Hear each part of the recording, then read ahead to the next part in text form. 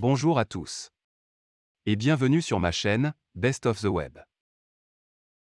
Pour la vidéo d'aujourd'hui, vous allez apprendre comment soigner le diabète avec le moringa. Mais avant de rentrer dans le vif du sujet, je vous demande tout d'abord de liker cette vidéo. Votre like nous encouragera à produire d'autres vidéos pour vous. Abonnez-vous et rejoignez notre chaîne en cliquant sur le bouton Rejoindre pour bénéficier d'avantages exclusifs. Les personnes atteintes du diabète peuvent utiliser ces feuilles de plusieurs façons. Tout d'abord, vous pouvez préparer du thé au moringa. Cette infusion est très efficace pour traiter le diabète.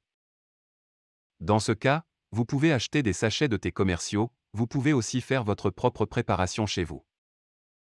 Pour une version maison, voici les étapes de préparation. Déshydrater les feuilles de moringa à l'air libre. Mettez ensuite une poignée de feuilles, deux feuilles sont suffisantes, dans une tasse d'eau chaude. Laissez reposer la préparation pendant quelques minutes. Évitez de bouillir les feuilles avec l'eau afin de ne pas perdre les nutriments des feuilles. La cuisson élimine les nutriments. À part l'utilisation des feuilles de moringa pour traiter le diabète, vous pouvez aussi utiliser des compléments alimentaires moringa sous forme des gélules et des poudres de moringa pour traiter le diabète.